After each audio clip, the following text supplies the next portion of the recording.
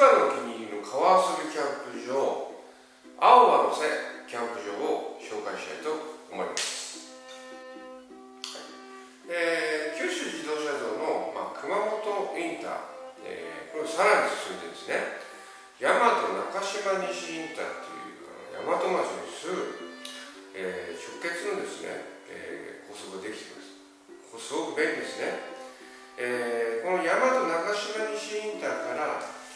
30分の場所にこの青葉の線キャンプ場があります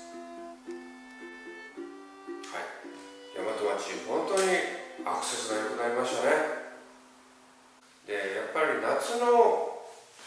キャンプはやっぱりタープ必須ですね。今回はユニフレームさんの、えー、レボタープ600を使いまし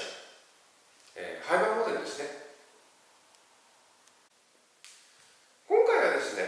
えー、パッカースタイルで、まあ、タープをね、えー、貼ってみました、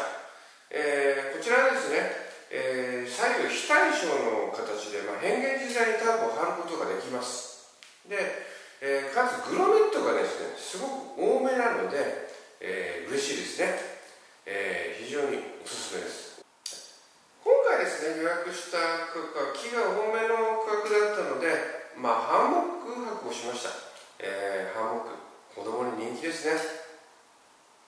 はい、青葉の瀬キャンプ場はですね、えー、緑川の上流に位置するキャンプ場で抜群の川遊びスポットです。もうオートサイドからですねもう降りてすぐが川です。まあ流れがですね速かったり深いところもあったりしてですね、まあ、変化があってすっごい楽しいです。でかつ、まあ、浮き輪でねふらふら浮いて、えー、川の流れを楽しすごくいいですね、ただしですね。大人の見守りは必須です。川遊びはすごくねあの事故が多いので、えー、気をつけましょう。テントサイトからですねまあ川は見えるんですけどやっぱり危険ですのであのそばまで行って見守りましょう、えー、管理棟の前もですね、えー、川遊びスポットあります、えー、まず、まあ、岩でゴツゴツした、まあ、流れが急なね、えー、スポットともう広めのちょっと運河っぽい感じのですね流れが緩やかなスポットがあるんでここも際で遊んでみると楽しいですね、はい。えー、管理棟横の青葉の小道っていう橋を渡っていくとですね、まあ、稲川ブローチがあります。これも趣があってねすごくかっこいいんですけど、えー、ここにはなんとブランコがあります。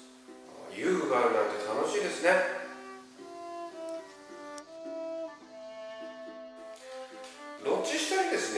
実は川がまたあるんですけどこはですねすごく深くて、えー、しかも綺麗。で大人でも遊べるような感じで、えー、ここも非常におすすめです。ただちょっと深いところもあるのでねやっぱ大人の方はちゃんとついてあげてください。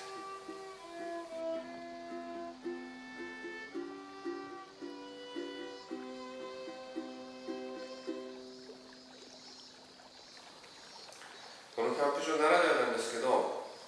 キャンプ場とですね川が近いんで、まあ、川でのチェアリング、まあ、コーヒー飲んだりすると最高ですね。ただしまあゴミなんか川に流さないようにしてくださいね。